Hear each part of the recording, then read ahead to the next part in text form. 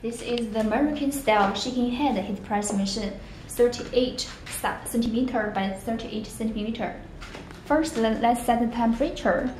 The left is the temperature, the, uh, the right is the time. First, uh, we press this ST button once.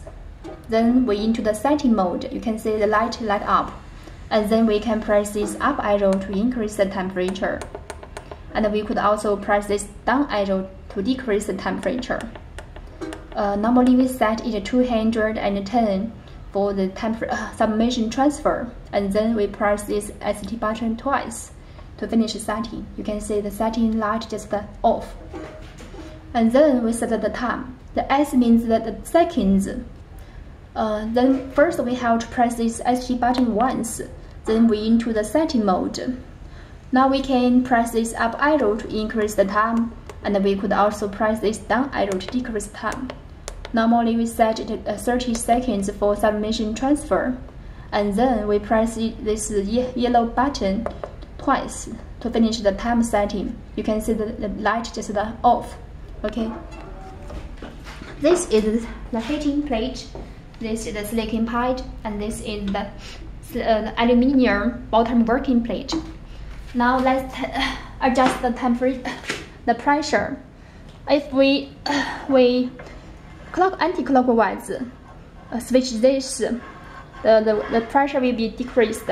If we clockwise uh, uh, switch this, the pressure will be increased. Uh, after we set the temperature, uh, the, uh, the pressure degree, we have to use this screwdriver to fasten this button to hold this the, uh, the pressure. Okay, the pressure is uh, uh, fixed, and then we have to test the machine. Then first uh, we have to display this fabric on this bottom working plate, and then we this sublimation transfer paper. The paper should face down to the fabric.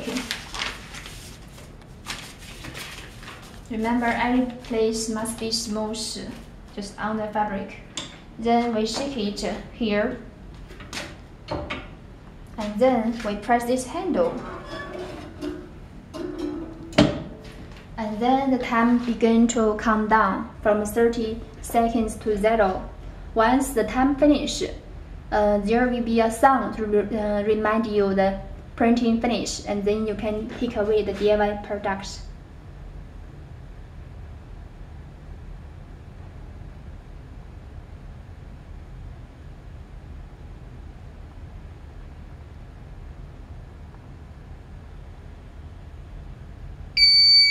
Okay, let's then we lift up this handle and we shake with the heating plate and we discover this the fabric.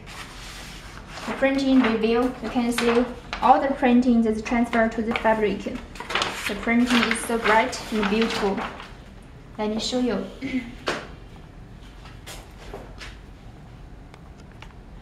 Color is very, very beautiful and bright and clearly.